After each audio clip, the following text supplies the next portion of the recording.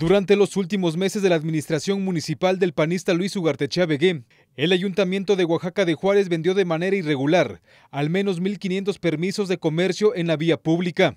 La venta ilegal de estos espacios arrojó ganancias por al menos 30 millones de pesos que jamás entraron a las arcas municipales, afirmó el regidor de Mercados y Comercio en la vía pública, Francisco Javier Jiménez Jiménez. Jiménez indicó que lo anterior provocó que la cantidad de vendedores irregulares se triplicara al pasar de 900 a cerca de 2.800 que existen en la actualidad.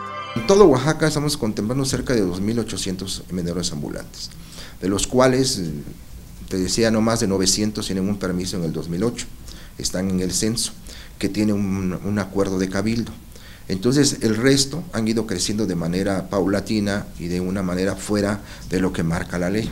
Y mis amigos comerciantes eh, ambulantes pueden alegar que tienen un permiso, pero ese permiso lo compraron de una manera irregular, se hicieron de una manera irregular.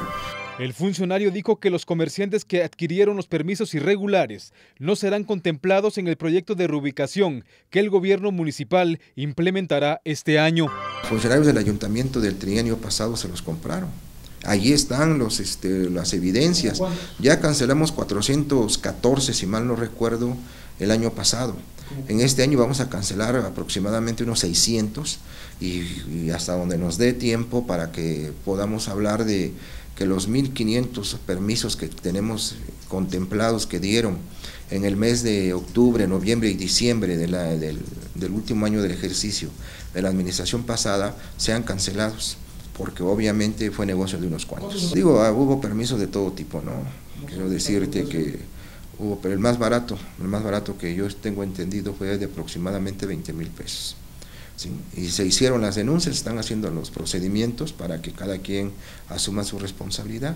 Y eso es lo que tenemos que hacer. Aunque dijo que los malos manejos fueron denunciados desde el comienzo de la actual administración, las investigaciones aún no concluyen.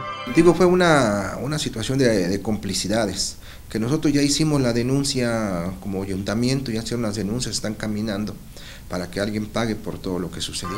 Con imágenes de José Antonio Reyes, informó para MBM Televisión Álvaro Morales.